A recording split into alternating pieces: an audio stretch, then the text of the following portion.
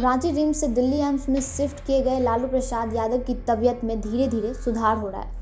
लालू की सेहत में सुधार बहुत धीमा है, क्योंकि कई क्रॉनिकल बीमारियों के साथ साथ लालू फ़िलहाल पल्मोनरी एडिमा से ग्रसित हैं। पल्मोनरी एडिमा की वजह से लालू यादव के फेफड़ों में अतिरिक्त पदार्थ जमा हो गया है। यह बीमारी निमोनिया के संक्रमण के कारण होती है। एम्स में लालू का इलाज करने वाले डॉक्टर फ़िलहाल इसी बीमारी को ठीक करने में जुटे हुए हैं। रिम्स एम्स में शिफ्ट किए जाने के बाद फिर से उनका मेडिकल टेस्ट कराया गया था। आरजेडी सुप्रीमो को फ़िलहाल कार्डिक इंटेंसिव केयर यूनिट में रखा गया है। एम्स के प्रसिद्ध कार्डियोलॉजिस्ट डॉक्टर राकेश यादव उनका इलाज कर रहे हैं। साथ ही साथ अन्य विभागों के विशेषज्ञ डॉक्टरों को भी मेडिकल टीम में रखा गया है। सीआईसीयू वार्ड में खास तौर पर उन मरीजों को रखा जाता है जो दिल के मरीज़ हैं और एंजाइमा समेत अन्य तरह की परेशानियों का सामना कर रहे हैं। यहाँ आपको बता दें कि आरजेडी सुप्रीमो लालू प्रसाद से बाहरी लोगों को मिलने पर मनाही रखी गई है। डॉक्टर्स का कहना है कि कोरोना संक्रमण को देखते हुए हमने एहतियात तौर पर लोगों से मिलना जुलना रोका है। डॉक्टर राकेश यादव के मुताबिक फ़िलहाल लालू यादव कुछ देर तक